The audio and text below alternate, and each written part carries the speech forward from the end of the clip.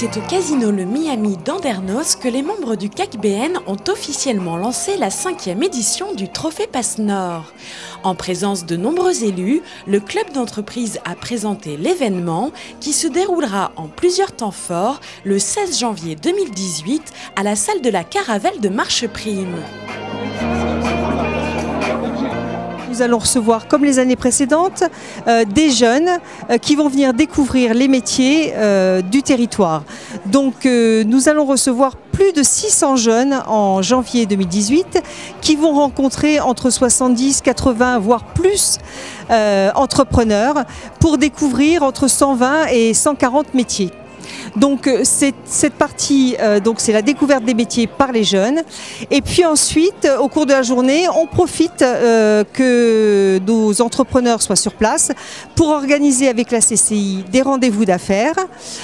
Et ensuite, nous allons avoir une conférence sur l'égalité homme-femme et vous en saurez un petit peu plus euh, d'ici quelques semaines. Et euh, nous terminons par euh, la remise des trophées entreprises. Et donc là, ce sont nos entreprises qui vont candidater, qui vont se présenter et nous allons en sélectionner trois qui seront récompensés en fin de journée. Le site vient d'ouvrir, on vient de, de, mettre en ligne les bulletins d'inscription. On peut s'inscrire pour présenter son métier, pour, euh, pour euh, participer au rendez-vous d'affaires ou juste on peut candidater. Euh, il n'y a pas une obligation d'être adhérent du CACBN pour participer et on n'est pas non plus obligé de participer toute la journée. Voilà, c'est en fonction des disponibilités et des envies de, chacun. Donc vous pouvez trouver toutes ces informations sur le site Trophée Passe Nord, c'est www.trophée-passenord.com où vous aurez toutes les informations. Vous aurez aussi les, les petits films et les, infos des années précédentes. Et donc je rappelle la date, mardi 16 janvier à Marche Prime. On vous attend nombreux.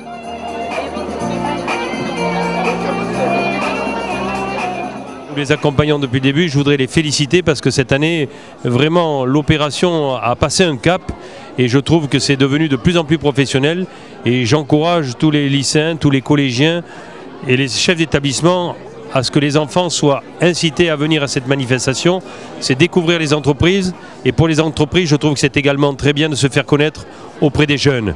Donc vraiment, euh, bravo à KBN. Et la Coban sera derrière pour assumer euh, ses responsabilités et suivre cette initiative qui est une excellente chose pour la jeunesse. Je pense que c'est vraiment euh, l'initiative euh, euh, idéale, si je puis dire, c'est-à-dire mettre en relation les entreprises de notre territoire et les jeunes collégiens. quoi de mieux Je suis convaincue que l'alternance, l'apprentissage est aujourd'hui un moyen de lutter contre le chômage et éviter que nos jeunes partent sur des formations qui au bout du compte n'aboutissent à rien. Donc euh, développons, développons l'apprentissage, développons l'alternance, valorisons l'apprentissage. Euh, pendant des années, ça a été un petit peu la voie de garage. Je crois que c'est une erreur. les métiers sont magnifiques. Des tas de jeunes se plaisent dans ces métiers, s'épanouissent. Donc euh, donnons euh, une belle chance à ces formations euh, par alternance.